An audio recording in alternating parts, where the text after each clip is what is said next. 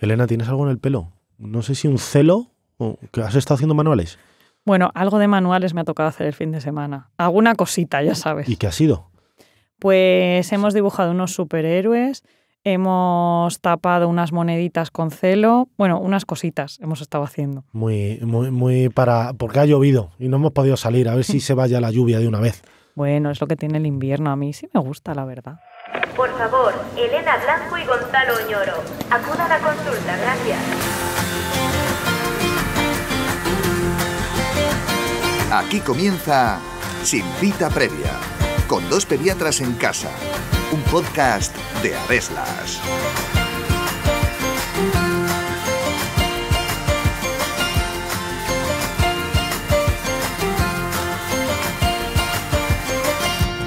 El inicio de las relaciones sexuales entre adolescentes es cada vez más precoz, y aunque para muchos padres y madres este sea un tema tabú, es muy importante que ofrezcamos a nuestros hijos información fiable y de calidad para que puedan tomar las mejores decisiones. Porque, independientemente de la edad a la que inicien esas relaciones sexuales, si éstas se realizan sin protección, es muy probable que se produzca un embarazo no deseado o que acaben contagiándose de una enfermedad de transmisión sexual. Pero, ¿cuáles son las dinámicas sexuales más habituales entre los adolescentes? ¿Utilizan los anticonceptivos de manera adecuada? ¿Qué es mejor para ellos, el preservativo o la píldora? ¿Y el resto de métodos anticonceptivos también los pueden usar? Está a punto de comenzar un nuevo episodio de Sin Cita Previa en el que os contamos todo lo que tenéis que saber sobre el empleo de anticonceptivos en la adolescencia. Así que ajustaos bien los auriculares porque empezamos.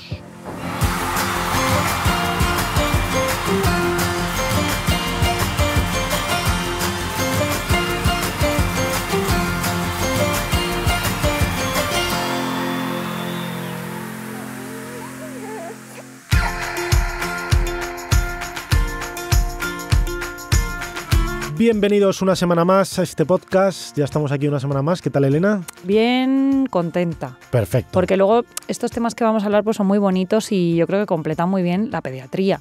Efectivamente. Y bueno, antes de nada y ya meternos en faena, eh, agradeceros que estéis una semana más al otro lado de los auriculares y por favor dejarnos una valoración de 5 estrellas en la plataforma en la que nos estéis escuchando. Hoy vamos a hablar de un tema que, bueno, viene a completar un poco el episodio de hace dos semanas en el que hablamos de la pubertad de los chicos y el que hicimos en la primera temporada de la pubertad de las chicas y vamos a hablar de métodos anticonceptivos. Sé que mucha gente que escucha Hay mucha este podcast sensibilidad con esto. Sí, pero yo lo que, lo que iba a decir es que muchos de los que nos escuchan son de padres y madres con hijos pequeños y dicen, bueno, esto no me interesa. Sí, sí, sí, os interesa porque también os va a servir a vosotros. Y, y llegará un momento en que vuestros hijos crezcan y esta información tendréis que asumirla, que se la tendréis que contar a vuestros hijos. Claro, a ver, eh, nosotros en las consultas eh, atendemos niños más o menos hasta los 14 años. Es verdad que un poco dependiendo, pues hasta los 16, hay gente que los 14 ya directamente no los ve, pero claro, sí se sabe que las relaciones sexuales cada vez son más tempranas en los chavales, nos guste o no. eh, queramos ocultar o no la realidad y la evidencia, los niños empiezan con las prácticas sexuales a edades tan tempranas como los 12 años. Entonces, eh, nuestro niño de mm, 3 años no la mayoría, Gonzalo, pero sí que algunos niños empiezan en torno a esta edad. Se sabe que la edad media más o menos son 14, 15 años, pero bueno, son cosas que esto está realmente a la vuelta de la esquina. Los que tengáis niños pequeñitos, dentro de mm, no tantos años vais a tener que enfrentaros. Entonces es una información buena que, que tengáis y que conozcáis para que cuando llegue el momento pues podáis ofrecer a vuestros hijos la mejor de las informaciones pues para que estén protegidos en todos los sentidos. Y no es que nos queramos dar más importancia que otros profesionales, pero sí que es verdad que los pediatras o los médicos o el personal sanitario, las enfermeras, los ginecólogos, las ginecólogas, las matronas, pues somos gente formada eh, que podemos dar una información de calidad. Yo al menos me considero empático para poder transmitir esto en mis consultas. Así que si al final de este episodio eh, no sabéis cómo hablar esto con vuestros hijos o llega ese momento, pues bueno, aquí estamos el personal sanitario que mm, estamos más que formados para poder ayudar a, a- a que reciban esta información vuestros hijos, que es importante que la reciban a lo largo de, la O pubertad. incluso una consulta sin el propio niño para, pues, de orientación a los padres. Oye, no sé cómo abordar este tema, le pillo pillado no sé qué en el móvil o cosas así, pues no son tan raras como para que, bueno, dicen, es que no sé qué hacer. Pues aquí estamos para recibiros, para poder ayudaros. Oye, y si les queréis poner este episodio, si este, tenéis hijos adolescentes, les podéis poner a escuchar este episodio con ellos, que no vamos a hablar, aunque la sexualidad en la adolescencia pueda ser un poco tabú, aquí lo vamos a hablar sin mucho tapujo, porque es lo que es, lo que hemos dicho Elena, nos guste más, nos guste menos, pero vamos a dar consejos de salud que nos importan a todos. Vale, eh, es importante, eh, lo primero, es proteger a los chavales de las cosas que pueden ocurrir cuando uno tiene una relación sexual sin protección. Claro, y por eso hacemos este episodio, porque si no hubiera ningún riesgo, pues no haría falta hacerlo, pero es que realmente sí que lo hay. Los adultos sabemos perfectamente cuáles somos, ¿no?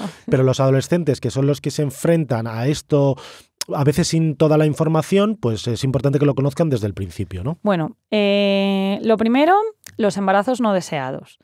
Eh, no es muy habitual ver embarazos en adolescentes, pero es una cosa que todos los pediatras en alguna ocasión nos hemos enfrentado, o sea que ninguno está libre de riesgo. Y por supuesto, las enfermedades de transmisión sexual, eh, por eso tienen ese nombre, se transmiten a través de las relaciones sexuales, no hace falta que sean con penetración, también se pueden, pueden ocurrir en aquellas relaciones, eh, prácticas sexuales que no hay penetración y que así a priori dices, bueno, pues no me quedo embarazada ya, pero de las otras también te- del otro no te estás protegiendo.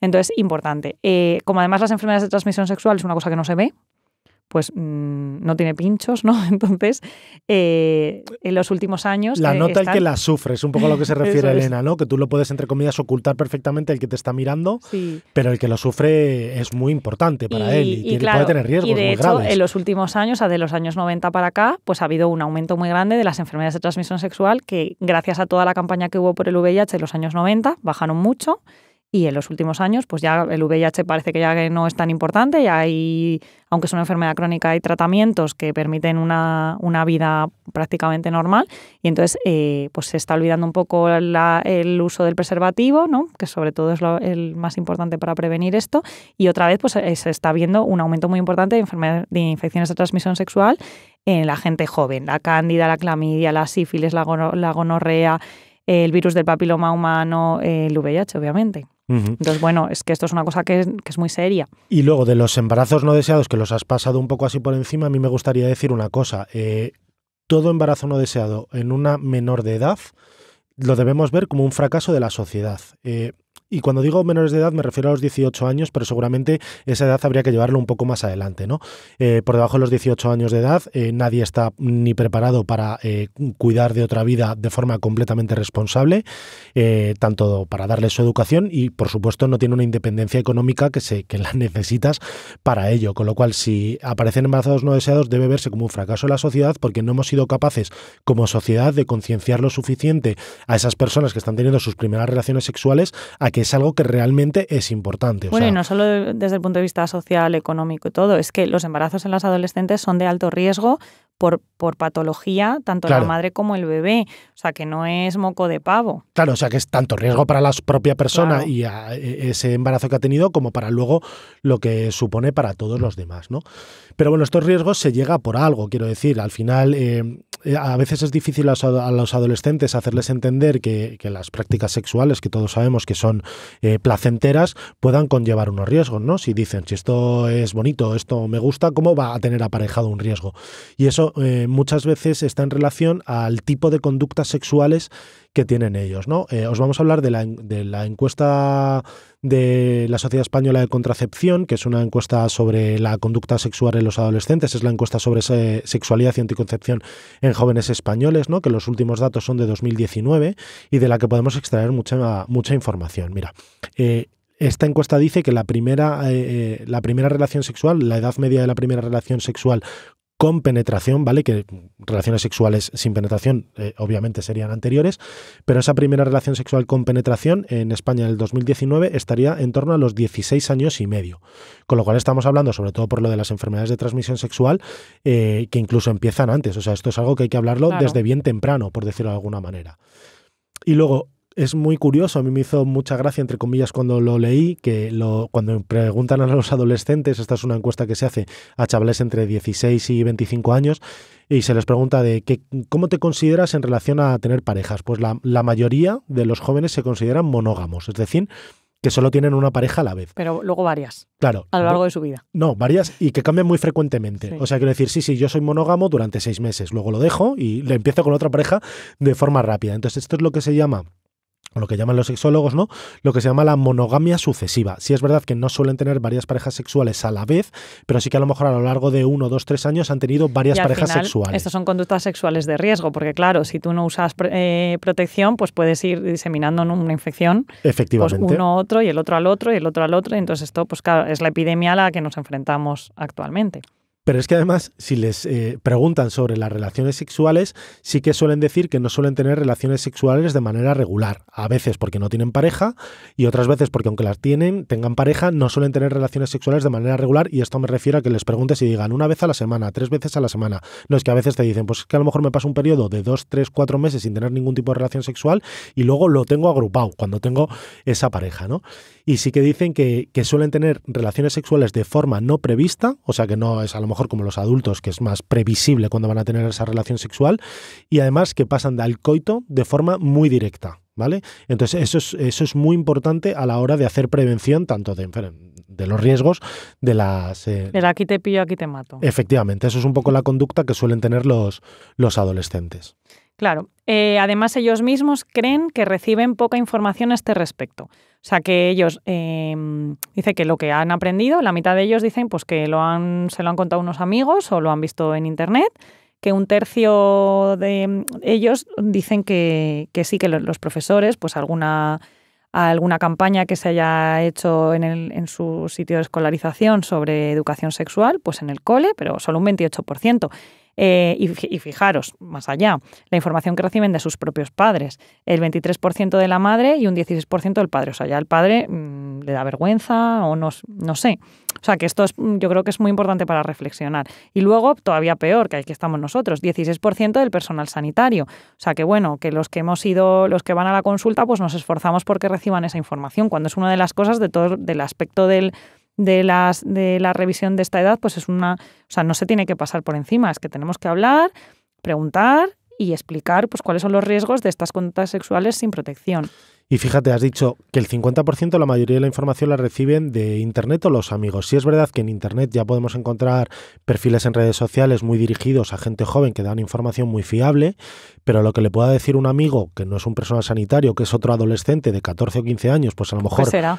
¿Qué, ¿Qué, tipo de información será? O está viendo unos vídeos en TikTok, que hay algunos que se te ponen los pelos de punta, que son información que, que es complicada eh, desde el punto de vista real de, de casi es una fake news, o sea, que, les, filtrar, está, ¿no? que están claro. desinformando realmente. Y luego, eh, fija, fíjate que hasta uno de cada diez, bueno, un 12%, un poco más, dice que, pues que nada, que no ha recibido ninguna información, o sea, que ya está. Lo que sí que, lo tenemos... Que, lo que le parece a él es lo que ha aprendido, ha visto o hace. Claro, lo que sí que tenemos que tener claro es que si los adolescentes tienen unas conductas sexuales determinadas, los métodos anticonceptivos que les tenemos que recomendar tienen que estar adaptadas a esas recomendaciones. No le vas a recomendar lo mismo a una pareja que tiene 40 o 45 años con dos hijos ya, que a lo mejor a un chaval de 14 o 15 años o a una chica de, de, de esa edad, ¿no? Y eso es una cosa muy importante. ¿Vale? Y en cuanto a si utilizan, claro, hemos hablado de las conductas, ¿no? Pero ¿utilizan los adolescentes los anticonceptivos? Cuando les preguntan a los adolescentes, ¿qué nos suelen decir? Bueno, pues eh, ellos saben cuál es el, el, riesgo, o sea, ellos lo que mayor, mayor riesgo ven o lo que más temen es quedarse, tener un embarazo no deseado. Ah, de las infecciones de transmisión sexual, y volvemos a lo que hemos dicho al principio, lo saben, pero no le dan tanta importancia. Desde luego, lo que no quieren es tener un embarazo no deseado. Y por ello, eh, el 76%, o sea, 3 de cada 4, no todos, pero la mayoría, eh, sí que reconocen que utilizan un método anticonceptivo durante sus relaciones.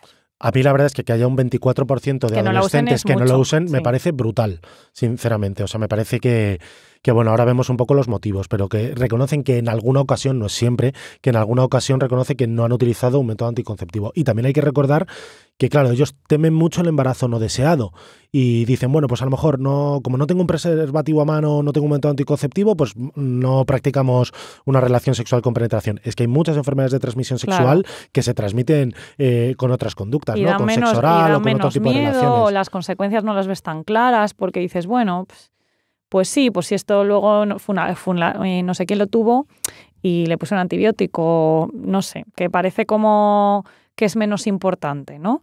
Y claro, realmente pues eh, tiene la misma importancia y luego hay enfermedades, infecciones que las secuelas pueden ser eh, incluso de infertilidad o por supuesto en el VIH todo el mundo conocemos que pues, la gente se muere, ¿no? Ahora que ya lo has dicho antes, afortunadamente no se ha convertido casi más en una enfermedad crónica. Bueno, pero, nadie quiere ser un enfermo crónico. Eso es a lo sano, que voy, ¿no? Eso está, eso está clarísimo. Lo, cuando les preguntamos, pero cuando les preguntamos a adolescentes, la mayoría reconoce que el método anticonceptivo preferido para ellos es el preservativo, que lo utilizan más o menos la, la, la mitad a la hora de elegir utiliza el, el, preservativo, y como un cuarto lo que utiliza es la píldora anticonceptiva, ¿no? Eso es lo más frecuente.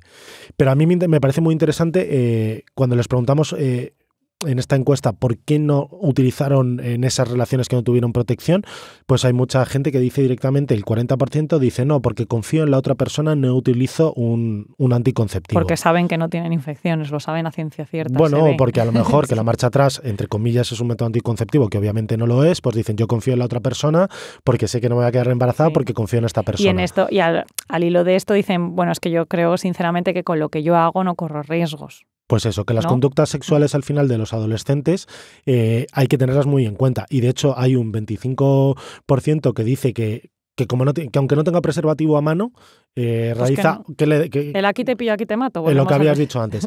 Y que hay otros que directamente, incluso con el preservativo en la cartera o en el bolso, dicen, es que no me da tiempo a colocarlo. Mm, Hombre, a ver, Tiempo pues, aquí te pillo, aquí te mato, lo que tú habías dicho.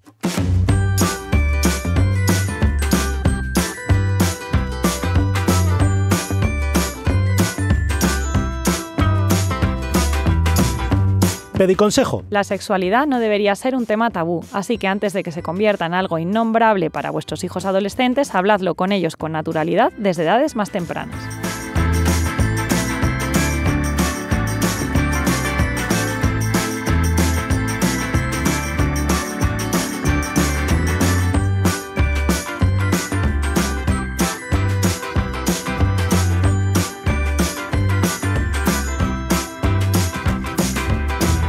Bueno, aquí en esto, entonces, eh, podríamos aventurarnos a decir que hay un, basándonos en las conductas que tienen los adolescentes, en los tabús que ellos tienen, ¿existiría un método ideal anticonceptivo para ellos? No, Que englobe niños y niñas, chicos y chicas. no. De hecho, lo que se recomienda es una cosa que se llama el doble método, es decir, que utilicen dos métodos anticonceptivos, ¿vale? Eh, ¿Por qué? Porque como tienen esas conductas eh, un poco alocadas, por decirlas de alguna manera, eh, es muy probable que o se olviden de uno o que uno no lo estén utilizando bien. Y así por lo menos tienen el Sí, otro o si por lo de menos doble uno- cinturón de seguridad. Uno de ellos no le da mucha importancia, pero a lo mejor el otro sí, pues bueno, que cada uno aporte lo suyo, ¿no? Claro, por supuesto, uno que proteja contra una infección de transmisión sexual y el otro que a lo mejor no protege contra infecciones de transmisión sexual, pero que seguro, seguro, seguro proteja también contra los embarazos no deseados. Así ¿no? parece que como lo más aceptado va a ser que el preservativo y otra cosa Eso más, es. ¿no? Porque- Lo que protegería de embarazo en el caso del no me ha dado tiempo. Claro, ahora, ahora hablaremos de los diferentes eh, métodos anticonceptivos, pero el preservativo, que es lo que tenemos todos en mente, es el que protege contra las, eh, el más sencillo, el que se ha demostrado que protege contra las enfermedades de transmisión una- sexual. O sea que ese no debería faltar nunca. Claro, y además una cosa que es muy inclusiva es que es el método anticonceptivo que usa el varón. Efectivamente. Porque toda la terapia hormonal que todos conocemos y que ahora vamos a contar eh, parte de la mujer. Entonces es el que tiene que la niña o la chica eh, ir a su madre, ir al pediatra o al ginecólogo, que se lo paute, las revisiones, ¿no? Entonces es una cosa en la que los dos formarían parte. Bueno, estamos hablando, ahora me acabo de dar cuenta, estamos hablando todo de las parejas hombre-mujer, ¿no? Sí, Pero bueno, en las de mismo sexo, ¿no? Sobre todo, sobre todo de hombre a hombre, pues el preservativo obviamente pues igualmente va a ser evidentemente, para, tras- para Sí. prevenir las enfermedades de transmisión sexual entre, entre hombres. Eh, de todas maneras, eh, has dicho, el preservativo implica al varón, obviamente porque es el varón el que se lo pone. Y bueno, yo creo que sí que es verdad que si hiciéramos una encuesta, la mayoría de las eh, jóvenes que compran preservativos son de sexo masculino, pero que no, una cosa no quita la otra. O sea que las chicas también pueden comprar eh, preservativos y, Y hacer que se lo ponga. Evidentemente. Y si no se lo quiere poner el- la pareja, no hace falta eh, llevar la relación sexual más allá. Esto tan famoso, póntelo, pónselo. Efectivamente. Esto lo vamos a tener que rescatar, ¿eh? De, no, del pues baúl. fíjate, lo has dicho antes que han aumentado, han aumentado las Claro, porque enfermedades de transmisión sexual. guardia. Hemos bajado la guardia porque Claro. esa campaña de los años 90 fue una de las mejores campañas de marketing Es que eh, lo- eh, para realmente lo que se es necesitaba. veníamos de, un- de una época en la que todos estábamos viendo como personajes que todos conocíamos se morían. Efectivamente. O sea, que es que eh, como eso ahora no pasa, pues parece que no pasa. Y yo creo que tenemos que dar un poco la vuelta ¿no? a todo esto. O sea, resulta que Internet, volvemos a lo mismo, Internet está lleno de información que mucha no vale la pena. Hay, por favor, buscar en fuentes de información fiables. Hay un montón de aplicaciones, páginas web de organismos oficiales que son información para jóvenes y para padres. Entonces, por favor. Y luego... eh, eh, cómo llegar, o sea, igual que llegaron, bueno, yo en los años 90 no estaba de esto, pero bueno, yo lo veía en la tele, o sea, yo con mis 8 o 9 años lo veía que lo ponían en la televisión. sí, de hecho, y te, eso- te iba por a eso yo me a mí sé. me, me impactó dos momentos respecto al O VIH. sea, yo no era joven. Nos estamos yendo un poco por las ramas, pero yo creo que el episodio de hoy Está lo merece. Eh, dos, se me acuerdo ahora de dos cosas. No, pero es Uno que fue de cuando. una raíz, o sea, esto viene de eso, que por eso hemos relajado. Vale. Yo me acuerdo de dos cosas. Magic Johnson, que no sé si sabéis quién es, que es un jugador de baloncesto, Hombre, Queen que... ¿Eh? y Queen. Bueno, y Queen también, pero yo me acordaba en este momento de Magic Johnson, que dejó el baloncesto eh, porque se contagió del VIH, eh, sigue vivo a día de hoy, 2022, pues porque se atra- Pero que fue muy impactante para mí. Yo tenía, pues cuando fueron las Olimpiadas de Barcelona, que fue en el 92, que es cuando volví a jugar al baloncesto inicialmente, yo tenía 10 años y eso me llamó mucho la atención. Y de esta otra, te acordarás que en un episodio de Farmacia de Guardia, que es una serie de primeros de los años 90, eh, hubo un capítulo en el que había una niña que era por tenía VIH porque se lo había transmitido, yo creo que era transmisión vertical De sus eh, de padres, sus de padres. sus y entonces me acuerdo que esa niña entraba a la farmacia y como la gente que había alrededor como que no la quería tocar y era Concha Cueto la que la subía en el mostrador y le daba un beso. O sea, y eso, joder, se- eso es una información, se me están poniendo los pelos de punta. Eso llegó a muchísima gente. Claro, pues cómo se hacía, eh, o sea, se recibía información en este sentido en, en todos los lados. Entonces ahora que resulta que las fuentes de información son muchísimo más globales, que es que llevamos el, esto que te encanta a ti decir, el ordenador en el bolsillo, y, y- y ahora y resulta que el póntelo pónselo se ha difuminado un poco, ¿no? Cuando en realidad eh, ahora se hacen prácticas de, de- o sea, por tanto, las prácticas sexuales son de más riesgo y encima eh, ha disminuido la edad de inicio de las relaciones sexuales. Con lo cual Entonces, son menos conscientes es de que, ello, es, claro. es que ahora es mucho más, es, o sea, no, no, pero desde luego no es menos importante que era hace 20 años, ¿no? Entonces, o 30, ya no sé ya cuántos hace, 30 igual, de esto. Entonces, bueno, qué, qué importante, ¿no? Que nosotros como padres seamos conscientes de que la sociedad de ahora es esta y no la que era la nuestra. Efectivamente. Bueno, vamos a recuperar el hilo y vamos a avanzar un poco y ya vamos a hablar de cada método anticonceptivo en referencia a los adolescentes. Seguramente la mayoría los conoceréis, la- los conoceréis, eh, pero bueno, un mini repaso al preservativo. El preservativo nunca debe faltar en las relaciones sexuales entre los adolescentes porque nos protegen de las enfermedades de transmisión sexual. Y del Y es- embarazo. Y y del embarazo también, pero eh, el resto no nos protege de las enfermedades de transmisión sexual. Entonces, en ese doble método que decíamos antes, uno de ellos siempre, siempre, siempre debe ser el, el preservativo. Y de los otros, que son los que van a prevenir contra el embarazo no deseado, y por tanto, si falla el preservativo, pues por lo menos, entre comillas, nos vamos a quedar con que la, la- la chica no se va a quedar embarazada. Pues el primero, y Los hormonales. ¿no? los hormonales, que es la, es la píldora anticonceptiva, que es la más, la, la más utilizada, con lo que las chicas Hombre, la conocen más frecuentemente. Y tiene mucha aceptación porque, porque es una cosa que las, igual creo que está casi al mismo nivel de conocimiento el preservativo que la pastilla, ¿no? La píldora. En las niñas y es, eh, o sea, se acepta muy bien. Sí que es verdad, pues que esto pues parte de que tú vayas al médico, que te lo pauten y no sé qué, pero bueno, tienen actualmente las de a día de hoy tienen pocos efectos secundarios, son bien toleradas, hay muchas formas, las hay que las tomas todos los días, bueno, eh, de muchas maneras y, eh, y en general pues es un método anticonceptivo que aceptan bien las adolescentes también. Problema, que depende de que tú te la tomes, ¿no? Claro. Que si no te la tomas no funciona, que los olvidos que han ocurrido hace tres días cuentan para eh, la- el, acto, el acto sexual que haya ocurrido después y eh, que tienen algunos efectos secundarios eh, y algunas contraindicaciones. No vale para todas las chicas. De hecho, hay muchos tipos de píldora. Al final, eh, aunque la mayoría pueden tomar todas, lo normal es pues, hablar con tu ginecólogo que te recomiende cuál en concreto te va mejor a ti.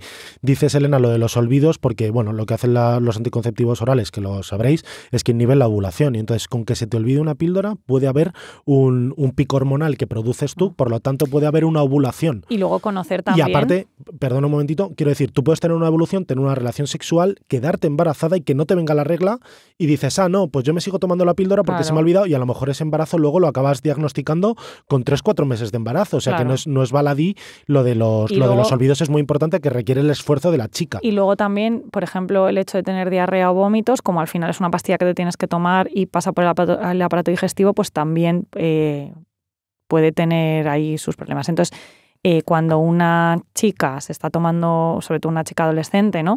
Se está tomando la píldora, pues requiere, padres, por favor, madres, eh, pues vigilar que lo esté haciendo bien, que tal, o sea, monitorizar un poco para que sea lo más eficaz posible, porque esto es muy eficaz siempre que uno lo tome bien. Pero bueno, parece que con lo que estamos diciendo, como que va a ser que es malísima. No, pero bien. hemos dicho bien, pero hay que tomarla bien. Eso es.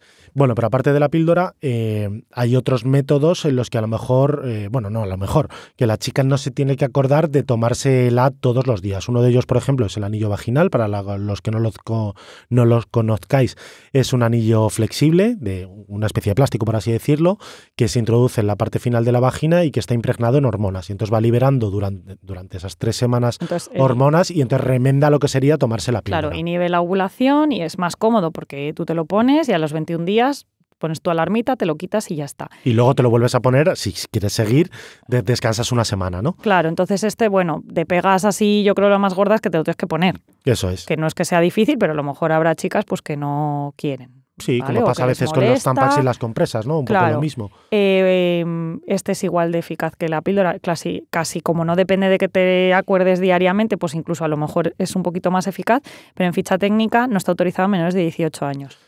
Aunque sí que es verdad Parece que, no importa. Eh, bueno, que eh, hablando con ginecólogas amigas nos han dicho que en principio, más allá de lo que ponga la ficha técnica, eh, no habría inconveniente en que lo usaran las chicas adolescentes, que ellas lo ven poco, un poco más el problema de si se lo colocan bien, no se lo colocan, más que un problema de la eficacia del método. Claro. Luego una cosa muy parecida es el implante subdérmico, que esto es como una barrita de plástico que contiene esta hormona, que en vez de esto ser cada tres semanas es de cada tres años, o sea que bastante ideal, fácil de poner. Es verdad que te hace una pequeña cicatriz en la zona del, antebrazo, como la zona pegada al, tórax, así en la parte de dentro, o sea que es una cosa pequeñita y que no se ve. Y eh, pues esto es todavía más ideal, o sea, tú lo pones tres años y te has olvidado. Una hormona que poco a poco se va liberando y ta, ta, ta. Entonces esto pues es muy parecido al anillo vaginal, también en ficha técnica menos de 18 años ponen que no, pero igualmente tampoco habría ningún inconveniente porque la misma, es la misma hormona que, que te tomas con la píldora. Efectivamente. Y de hecho, eh, bueno, hablando el otro día con un amigo a través de redes sociales, ginecólogo eh, en Sudamérica, ellos lo utilizan mucho. Y bueno, a lo mejor en España en ficha técnica pone 18 años, pero allí se utiliza mucho, con lo cual, eh, bueno, hablarlo con vuestros hablarlo de ficha, fuera de ficha técnica se podría usar, hablarlo con vuestros ginecólogos, que no habría en principio ningún problema. Y por último, nos quedaría un tipo, hay más, ¿eh? pero bueno, otro tipo de anticonceptivo que pueden utilizar las chicas, que cuál es, que es el dispositivo el famoso DIU. Claro, este eh, antiguamente, o sea, esto lo que se basa es colocar un dispositivo dentro del útero que hace que el útero se convierta en una zona en la que es muy difícil que aunque haya fecundación se implante, se implantase. Pero es que además los dispositivos más modernos vienen impregnados de hormona, entonces tiene el doble efecto, que hace que no ovules, pero que es que si aunque ovulases y fecundases, no se produciría la implantación. Entonces esto es uno de los más, más aceptados y más extendidos eh, de utilización, sobre todo en mayores. Sí. Y bueno, otra cosa que nos has dicho que aparte de, lo de que inhibe la evolución, la ovulación sí que es verdad que produce unos cambios en el útero que hace que los espermatozoides, cuando pasan otra vez, por así decirlo, no sobrevivan y no fecunden, ¿vale? Que eso también es una cosa que muchas, mucha gente pregunta. La duración de un día normalmente se establece en 5 o 6 años, más o menos, y sí que es verdad que en este caso sí que necesita un ginecólogo que lo conozca, que lo conozca, obviamente que lo conozca, que lo coloque, ¿vale? Con lo cual eso sí que es una cosa que hay que tener en cuenta. Es un poquito molesto, eh, La colocación, la dices. colocación, pero luego es muy bien aceptado y es uno de los pues de los más más más eficaces. Este eh, sería es el que más se utiliza en las mujeres madres que nos estéis escuchando, las mujeres después de haber tenido hijos, pero que sepáis que los adolescentes se puede colocar. Y este sería como el de elección en aquellas jóvenes adolescentes con trastornos de conducta que tienen unas, eh, que tienen hacen prácticas sexuales sin mucho control, pues sería el ideal por su alta eficiencia, eficacia y de todo. De todas maneras, la Sociedad Española de Ginecología dice que antes de colocar un DIO a un adolescente, sobre todo si no ha tenido hijos previos, hombre, un adolescente no debería, porque hemos dicho los embarazos no deseados tenerlo, que se debería intentar el uso de otros métodos anticonceptivos antes de recurrir al DIU, o sea, dejarlo como, como última acción, pero la verdad es que no habría ningún inconveniente en utilizarlo. Y ya por último, la anticoncepción de emergencia, ¿no? La famosa píldora del día después. Claro, esto realmente no es un método anticonceptivo, sería casi más posconceptivo, que esto lo que hace es que en el caso de que hayas tenido una relación sexual de riesgo con penetración y que se ha podido producir una posible fecundación, pues lo que hace es que induce que te venga la regla, al final el útero se descama y hace pues muy poco posible que ese eh, óvulo fecundado pudiera implantar y llegar a un embarazo. Obviamente, eh, en este caso, no has, eh, cuando has llegado a este punto, no has usado ningún método anticonceptivo ni doble, ni único, ni nada. O, o- o bueno, O bueno, se, te ha, podido romper. Sí, eso pero bueno, el decir. final, pero bueno, el final es que mm, todo ha ocurrido, el contacto sexual, o sea, ni la prevención de la infección, de la transmisión de la, de la infección, eh, ni la prevención del embarazo. Entonces, eh, sí que es verdad que gracias a que esto existe, es un recurso de emergencia, se pueden vi- evitar embarazos no deseados. Es importante usarlo en los siguientes días después de la conducta, desde la práctica sexual. Y, y se consideraría un fracaso, ¿no? Porque Sí, eso es lo que te iba a decir. Se- es un fracaso si, si no han utilizado ningún método anticonceptivo Claro. y están utilizando la píldora del día después como método anticonceptivo, eso es un fracaso. Otra cosa es que se hayan, pues que no hayan utilizado bien una píldora y se les haya olvidado, pues que sepan que existe este método. En resumen, de todos los métodos anticonceptivos, entonces, ¿qué vamos a recomendarles? Pues el doble método, ya lo hemos dicho al principio, el preservativo sí o sí y otro segundo método elegir para que en el caso de preservativo no funciona, no me acuerdo, no me da tiempo, eh, pues podamos evitar ese embarazo no deseado, pero obviamente el preservativo es el que sí o sí es el método de barrera ideal para evitar las infecciones de transmisión sexual. Bueno, Gonzalo, creo que con esto vamos a ir cerrando el episodio de hoy. Hemos hablado de muchas cosas y estoy segura de que nuestros oyentes tendrán que asimilarlo para poder transmitírselo a sus hijos, porque en el caso de que tengan relaciones sexuales, pues estas sean lo más seguras posibles. Quizá para algunos este episodio llega un poquito tarde y sus hijos ya tengan 16, 17 o 18 años, pero nunca es tarde para hablar con ellos y transmitirles la importancia de estas cosas, como cuando les damos la tabarra con que se pongan el casco para ir en bici o en moto o tenga y tengan la edad que tengan. Pues si te parece, echamos el cierre con el resumen del episodio de hoy. Los riesgos de una relación sexual sin protección son básicamente dos, los embarazos no deseados y las enfermedades de transmisión sexual. Los adolescentes suelen tener relaciones monógamas, pero de corta duración, lo que les hace cambiar de pareja de forma muy frecuente. En muchas ocasiones tienen relaciones sexuales no previstas o pasan al coito de forma muy rápida, lo que les pone en riesgo para no utilizar métodos anticonceptivos. Hasta un 24% de los jóvenes reconocen utilizar protección en todas sus relaciones sexuales. La técnica del doble método es lo más recomendado para los adolescentes. En él se combina el preservativo con otro método anticonceptivo que dependerán de la preferencia de la chica que lo vaya a usar.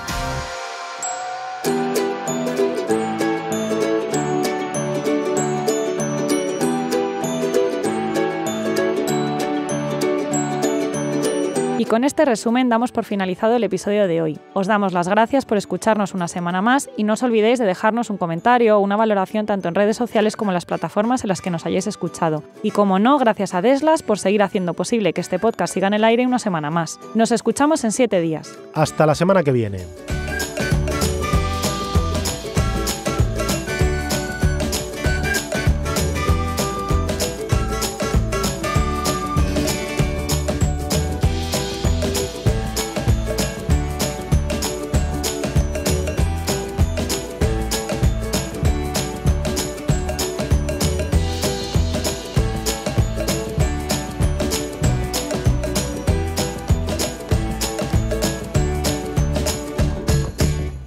Si lloras por haber perdido el sol, las lágrimas no te dejarán ver las estrellas. Rabindranath Tagore Dixit.